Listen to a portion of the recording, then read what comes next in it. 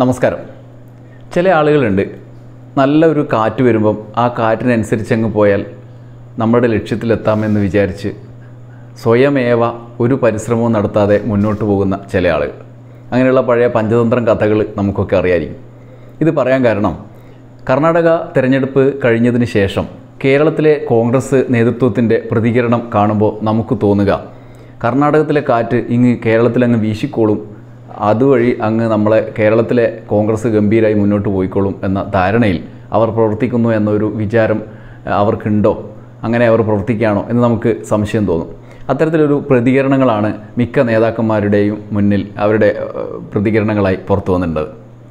യഥാർത്ഥത്തിൽ കർണാടകയിലെ party Congress party നയിച്ചതുപോലെയാണോ? കേരളത്തിലെ പാർട്ടി നയിക്കുന്നത്? പല സമാനതകൾ രണ്ട് പാർട്ടികളും തമ്മിലുണ്ട്. കാരണം തുടർച്ചയായ തിരിച്ചടികളാണ് കർണാടകത്തിൽ ഉണ്ടായിരുന്നത്.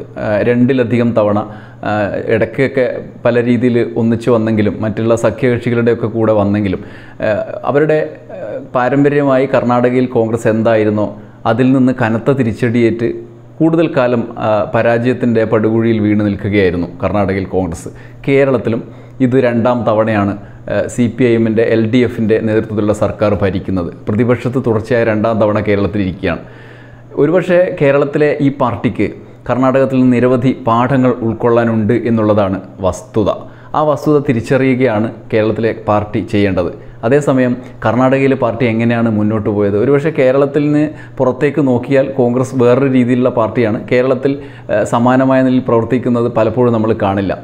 ഏറ്റവും പ്രധാനപ്പെട്ട കാര്യം ഒരുമയാണ്. കർണാടകത്തിൽ നമ്മുടെ ഡി കെ ശിവകുമാറും സിദ്ധരാമയ്യയും തുടങ്ങിയ മുൻ നേതൃനിര ഒരുമയോടെ മുന്നോട്ട് പോയി.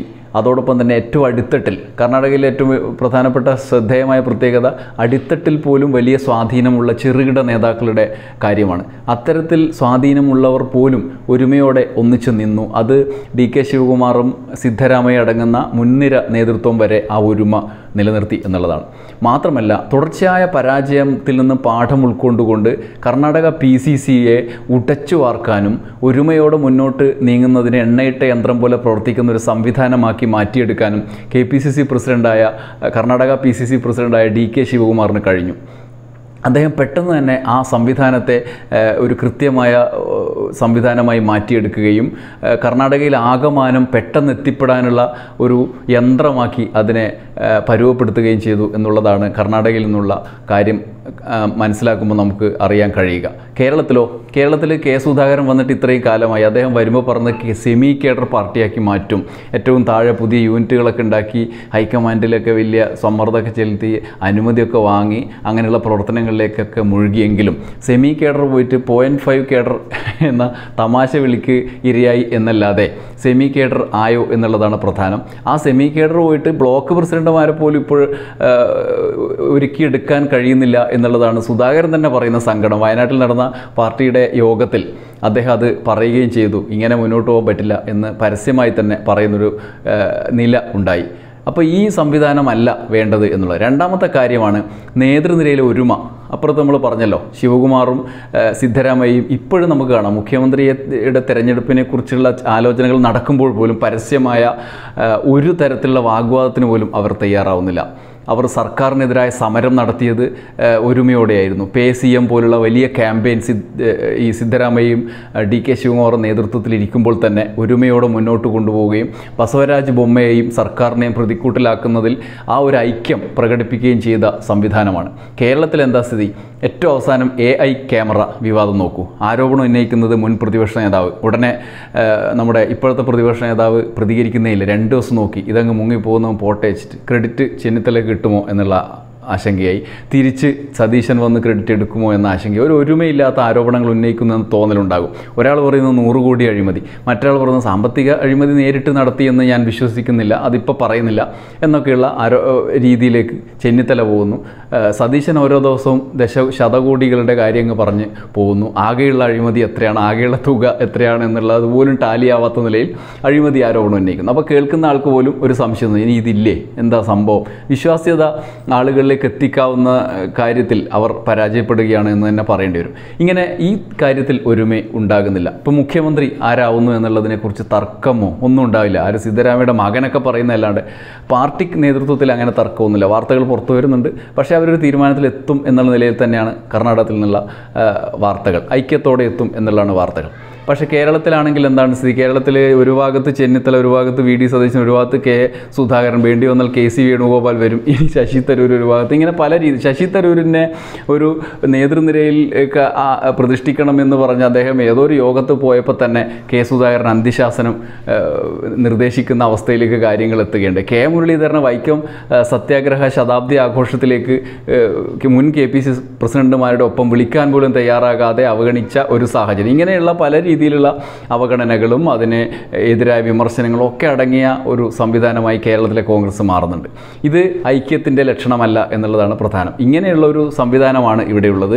കർണാടകത്തിൽ അങ്ങനെ ആയിരുന്നില്ല. ഈ താരതമ്യം കൃത്യമായി നടത്തുകയും അതിന് ശേഷമുള്ള നടപടികളിലേക്ക് കടക്കുകയും ചെയ്തില്ലെങ്കിൽ ആ കാറ്റിനൊത്ത് നമ്മളങ്ങ് പോയിക്കോളും എന്ന് വിചാരിച്ചാൽ സംഗതി ശരിയാവില്ല എന്നുള്ളതാണ് ശ്രദ്ധേയമായ കാര്യം. മറ്റൊന്ന് വിശാലമായ കാഴ്ചപ്പാട് പ്രത്യേകിച്ചും മതവർഗീയ ശക്തികളോടുള്ള സമീപനത്തിൽ കോൺഗ്രസ് കോൺഗ്രസ് കേരളത്തിലെ കോൺഗ്രസ് പലപ്പോഴും സ്വീകരിക്കുന്നതിൽ പിന്നോക്കം പോകുന്നു എന്നുള്ളത് ശ്രദ്ധേയമായ കാര്യമാണ്. എന്താണെന്ന് വെച്ചാൽ ഈ ഐക്യം സംശയാസ്പദമായി സമൂഹത്തിന് മുന്നിലേക്ക് അവരുടെ ഐക്യത്തിന്റെ സന്ദേശം എത്തുന്ന നിലനിൽക്കുന്ന ഒരു കാര്യമുണ്ട്. ഇപ്പോൾ ഉദാഹരണത്തിന് ബി ജെ പി ഇതര കക്ഷികളുടെ യോജിപ്പിനെ കുറിച്ചുള്ള കൃത്യമായ കാഴ്ചപ്പാട് രാഹുൽ ഗാന്ധി ഉൾപ്പെടെയുള്ള ദേശീയ നേതൃത്വത്തിനുണ്ട് എന്നുള്ളത് ഒരു വസ്തുതയാണ്. അതിനെ ആ നിലയിൽ സമർത്ഥിക്കുകയും ജനങ്ങൾക്ക് വിശ്വാസയോഗ്യമായ നിലയിൽ അവതരിപ്പിക്കുകയും ചെയ്യുന്ന കാര്യത്തിൽ പലപ്പോഴും ദേശീയ നേതൃത്വം വിജയിച്ചിട്ടുമുണ്ട്. എന്നാൽ കേരളത്തിലെ പാർട്ടി നേതൃത്വം അതിനെ സംശയാസ്പദമായ ആളുകൾ നോക്കുന്ന രീതിയിലാണ് വ്യാഖ്യാനിക്കുന്നത്. ഉദാഹരണത്തിന് പല ആ, തലത്തിൽ പല രീതിയിലുള്ള പോരാട്ടങ്ങൾ നടക്കാറുണ്ടല്ലോ. അപ്പോൾ സി പി എമ്മിന്റെ സമ്മേളനത്തിനോടനുബന്ധിച്ച് നടന്ന ഒരു ദേശീയ സെമിനാർ ഉണ്ടായിരുന്നു കണ്ണൂരിൽ. നരേന്ദ്രമോദി സർക്കാരിന്റെ ഫെഡറലിസം തകർക്കുന്ന നടപടികൾക്കെതിരായ ഒരു സെമിനാറാണ് സ്റ്റാലിനും കെ വി തോമസും ഒക്കെ പങ്കെടുത്ത ഒരു സെമിനാർ പിണറായി വിജയനൊക്കെ പങ്കെടുത്ത സെമിനാർ. അതിൽ ശശി തരൂർ കോൺഗ്രസിന്റെ പ്രതിനിധിയായി ക്ഷണിക്കപ്പെട്ടപ്പോൾ അതിനെതിരെ ഉടനെ അന്തിശാസനം ഇറക്കുകയാണ് കെ സുധാരൻ പറഞ്ഞു പങ്കെടുക്കാൻ പാടില്ല ബി ജെ പിയേക്കാൾ വലിയ ശത്രു അവരാണ് എന്ന് പറഞ്ഞു. തൊട്ടു പിന്നാലെ സി പി എമ്മിൽ നിന്ന് രക്ഷിക്കാൻ ആർ എസ് എസ്സുകാർക്ക് ശാഖയ്ക്ക് കാവൽ നിന്നത് ഞാനാണ് എന്ന് പറഞ്ഞ അതേ സുധാകരൻ പ്രഖ്യാപിക്കുന്നു. ഇങ്ങനെ സംശയാസ്പദമായ നിലയിൽ കാര്യങ്ങൾ അവതരിപ്പിക്കുന്ന ഒരു സംവിധാനമായി കോൺഗ്രസ് പോവുകയാണ്. അതിനപ്പുറം കർണാടകത്തിലോ അതിന് നേരെ തിരിച്ചാണ്. കർണാടകത്തിൽ കോൺഗ്രസ് ഒറ്റ കക്ഷിയായി നിന്നുകൊണ്ട് അവർക്ക് മറ്റൊരു കക്ഷിയുടെ സഹായം പോലും വേണ്ടാത്ത വിധം അവർ പോരാടി വിജയിച്ചു എന്നുള്ളത് ശ്രദ്ധേയമായ കാര്യമാണ്. പത്രസമ്മേളനങ്ങൾ ഭീകരമായി സർക്കാരിനെതിരായ പോരാട്ടങ്ങൾ എന്ന നിലയിൽ രമേശ് ചെന്നിത്തല കഴിഞ്ഞ ഒന്നാം പിണറായി സർക്കാരിന്റെ അഞ്ച് വർഷക്കാലം നിരന്തരം നടത്തി. അതിനൊന്നും പക്ഷേ ഒരു ബാലവും ഉണ്ടായില്ല. അപ്പോൾ പത്രസമ്മേളന പ്രതിപക്ഷ പ്രവർത്തനം എന്നുള്ളതിന് എഫക്റ്റ് ഇല്ല എന്ന് നമ്മൾ മനസ്സിലാക്കണം. അതുകൊണ്ട് ഇനിയുള്ള കാലത്ത് ഈ പത്രസമ്മേളനം കൊണ്ട് മാത്രം കാര്യമില്ല. ജനങ്ങളിലേക്ക് ഇറങ്ങിച്ചെന്നുകൊണ്ടുള്ള പ്രവർത്തനമാണ് വേണ്ടത് എന്ന് കെ സി വേണുഗോപാൽ പറയുകയുണ്ടായിരുന്നു. പത്രസമ്മേളനത്തിലൂടെ സർക്കാരിനെ പ്രതിക്കൂട്ടിലാക്കുക എന്നുള്ളതിനപ്പുറത്ത് ഒരുപക്ഷെ പ്രളയ കോവിഡ് അനന്തരം കേരളത്തിലെ രാഷ്ട്രീയ പാർട്ടികൾക്ക് ചില പ്രത്യേക ജനങ്ങളുടെ ഇടയിൽ അവർ ആഗ്രഹിക്കുന്ന ഒരു പ്രത്യേക തരത്തിലുള്ള സമീപനമുണ്ട്. അത് സേവന പ്രവർത്തനങ്ങളിൽ കേന്ദ്രീകരിച്ചുകൊണ്ടുള്ള സമീപനമാണ്. പിണറായി സർക്കാർ ഇപ്പോൾ ചെയ്തുകൊണ്ടിരിക്കുന്നതും സേവന പ്രവർത്തനങ്ങളെ പ്രൊജക്റ്റ് ചെയ്തുകൊണ്ടുള്ള പരിപാടികളാണ്. വീട് ലൈഫിന്റെ വീടും അതോടൊപ്പം തന്നെ മറ്റ് റേഷൻ ഷോപ്പും റോഡും ഇങ്ങനെയുള്ള വികസന പ്രവർത്തനങ്ങളെ കേന്ദ്രീകരിച്ചിട്ടുള്ള പല വിധത്തിലുള്ള പ്രവർത്തനങ്ങൾ ആളുകളിലേക്ക് എത്തിക്കുക എന്നുള്ളതാണ്. കക്ഷി രാഷ്ട്രീയത്തിൽ പോലും പരിമിതമായ നിലയിൽ മാത്രം ഇടപെടുക എന്നുള്ളതിന് പ്രാധാന്യം കൊടുത്തുകൊണ്ടാണ് അവർ പോകുന്നത്. അത് മനസ്സിലാക്കിക്കൊണ്ട് സേവന പ്രവർത്തനങ്ങൾക്ക് അവർ നൽകുന്ന പിന്തുണ വികസന പ്രവർത്തനങ്ങൾക്ക് പ്രതിപക്ഷം നൽകുന്ന പിന്തുണയും ഒക്കെ ജനങ്ങളുടെ മനസ്സിലുണ്ടാവാനിടയുണ്ട് അതുകൊണ്ട് കർണാടകത്തിലെ കാറ്റിനനുസരിച്ച് നമ്മളങ്ങ് പോയിക്കോളും എന്ന് വിചാരിച്ച് സാങ്കല്പിക തോണികൾ ഇരിക്കാൻ കോൺഗ്രസിന്റെ നേതാക്കൾ തയ്യാറായിട്ട് കാര്യമില്ല. അതുകൊണ്ട് ഇനിയുള്ള കാര്യ കാലം അത്തരത്തിലുള്ള പ്രവർത്തനങ്ങൾ നടപ്പാക്കുന്നതിന് കൂടി ശ്രദ്ധ കേന്ദ്രീകരിച്ച് കർണാടകയിലെ കാറ്റ് അത് നമ്മളെ കൊണ്ടുപോകും എന്ന് വിചാരിച്ചുകൊണ്ടിരിക്കാതെ യാഥാർത്ഥ്യബോധത്തോടെ മുന്നോട്ട് കൊണ്ടുപോയാൽ മാത്രമേ വിജയത്തിലെത്താനാവൂ. അതുകൊണ്ട് ഈ കർണാടക കേരള താരതമ്യം നിരന്തരം സ്വയം നടത്തുക എന്നുള്ളതാണ് ശ്രദ്ധേയമായ കാര്യം. കോൺഗ്രസ്സുകാർ സ്വയം ചിന്തിച്ചാൽ അവർക്ക് കൊള്ളാം. നന്ദി നമസ്കാരം.